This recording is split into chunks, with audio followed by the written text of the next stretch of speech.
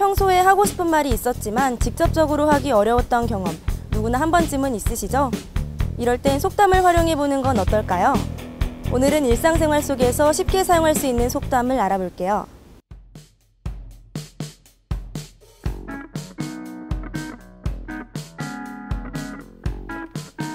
야 내일 발표 준비 다 했어? 아니? 얼마나 했는데? 이제 시작하려고 어제 안 하고 뭐 했어? 어제는 그냥 12시까지 그냥 과제하다가 롤했지 말 태우고 버선 깁는 시기구먼 말 태우고 버선 깁는다.